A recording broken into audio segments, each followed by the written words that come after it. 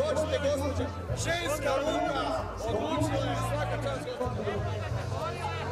Ko bi rekao dok sam vas vidio da sjede na drugom uzite cigarete dok je takav odlučite, pa nema veze da se vada prizmu. Idite Hanček moj, ovdje ima još Jarek, Sjedite, da mi imamo žiri iza i ovdje, evo, to je slika. To je slika.